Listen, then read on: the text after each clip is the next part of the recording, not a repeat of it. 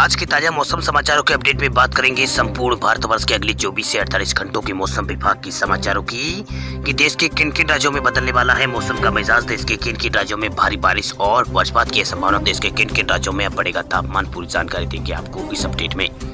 बात करते हैं आज के पहले अपडेट की तो दिल्ली एनसीआर में झमाझम बरसात के बाद कई इलाकों में मौसम हुआ है सुहाना, देश के कई राज्यों में आज भारी बारिश का अनुमान मौसम विभाग ने किया है व्यक्त। मौसम विभाग पहले ही कह चुका है कि मानसून ने पूरे देश को अपने दायरे में ले लिया है। इस साल मानसून की ये प्रक्रिया पूरी करने में 40 दिन यहाँ पर लग गए हैं। वह उत्तर भारत और उत्तर पश्चिम भारत में मानसून की फुहारों में काफ़ी देरी हुई है। लेकिन राहत की बात यह है कि मंगलवार से दिल्ली एनसीआर में रुक रुक कर बारिश का दौर जारी है। यहाँ फ़िलहाल इंद्र देवता की मेहरबानी बनी हुई है। मंगलवार बुधवार को भी कई इलाकों में बारिश हुई है। वह राष्ट्रीय राजधानी दिल्ली में आज भी मध्यम से भारी बारिश यहाँ पर होने के आसार जताए गए हैं। इस बीच मौसम विभाग ने अपने ताज़ा अनुमान में कहा है कि दिल्ली समेत देश के कई राज्यों में भारी बारिश की संभावना है। साथ ही कई इलाकों में बादल गरजने और आसमानी बिजली गिरने की आशंका को लेकर भी लोगों को सावधान मौसम विभाग ने किया है। वही मौसम विभाग ने जिन राज्यों के लिए भारी बारिश होने की संभावना जताई है, चेतावनी दी है, उनमें महाराष्ट्र, गोवा, तेलंगाना शामिल है। वही मौसम विभाग के मुताबिक महाराष्ट्र, कोंकण, गोवा के कुछ जगहों पर अगले तीन दिनों तक बहुत ज़्यादा भारी बारिश होने की आशंका है। वही महाराष्ट्र के बाकी सो तेलंगाना में भी भारी बारिश होने का अनुमान जताया गया है।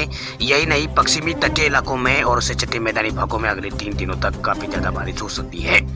इसके अलावा इसके अलावा यहाँ पर तेलंगाना के कुछ इलाकों में अगले 24 घंटों के दौरान ज़्यादा बारिश होने की चेतावनी मौसम विभाग की ओर से जारी की गई है। इसके अलावा छत्तीसगढ़, ओडिशा और तटीय आंध्र प्रदेश में अगले 24 घंटों के दौरान बहुत भारी बारिश की संभावना है।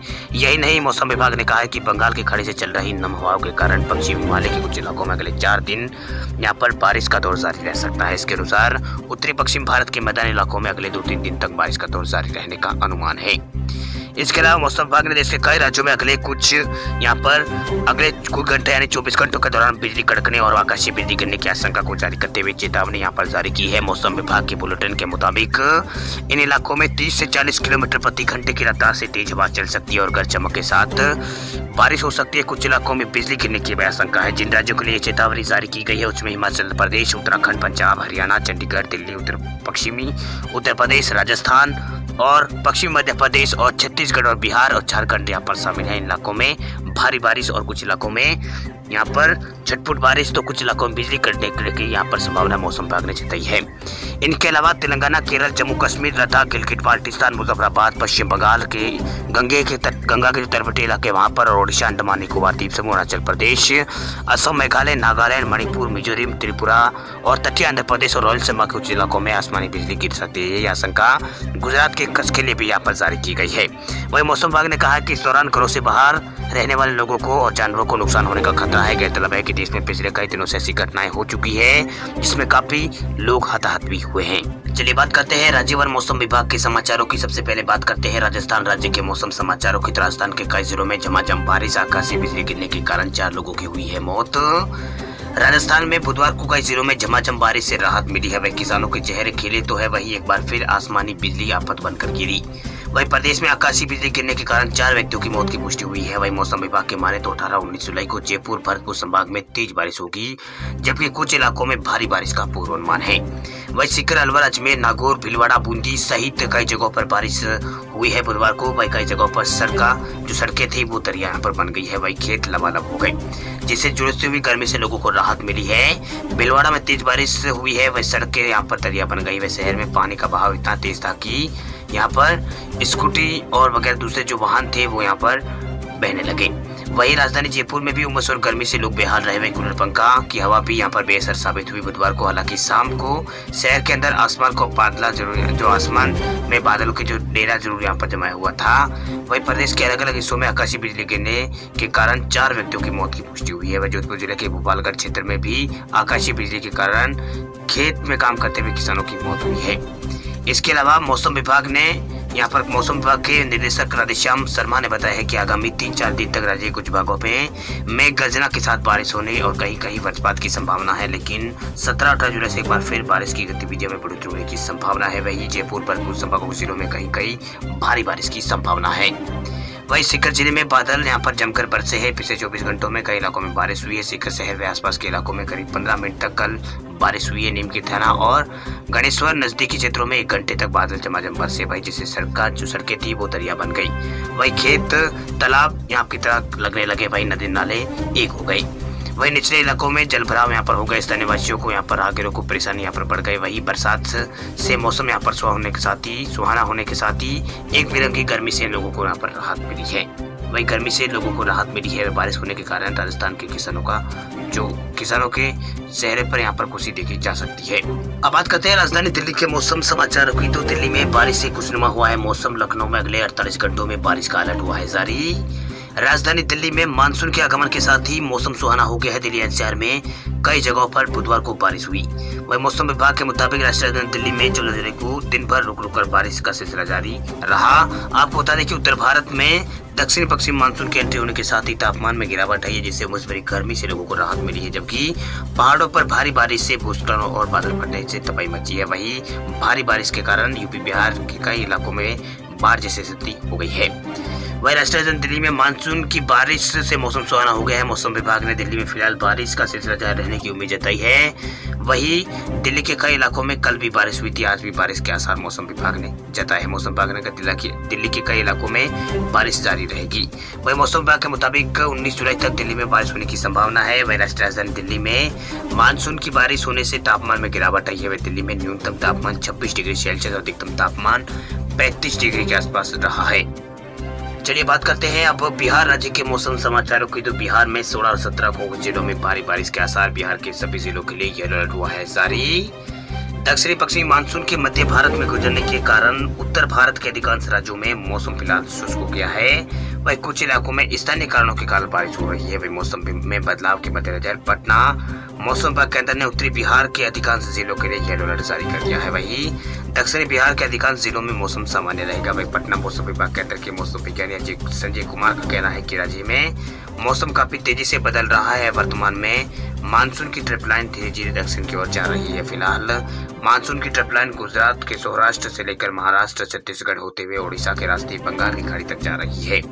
अगले तीन दिनों तक उत्तर भारत में बारिश की उम्मीद बहुत ही कम है। वही वर्तमान में स्थानीय कारणों के कारण कुछ क्षेत्रों में बारिश हो सकती है। वही उत्तरी बिहार के कुछ जिलों में 16 और 17 जुलाई को भारी बारिश हो सकती है, खासकर पूर्वी और पश्चिमी चंपारण, गोपालगंज, सारण, सिवान, प्रमुख ज़िले हैं। इनमें बारिश की संभावना जताई गई है। राजधानी में कल यहाँ पर दिन भर मौसम यहाँ पर बदलता रहा। वही सुबह काफ़ी तेज धूप निकली, लेकिन दोपहर बाद राजधानी में मौसम बदला और आकाशीय बिजली यहाँ पर, आकाशीय काले बादल यहाँ पर छा गए।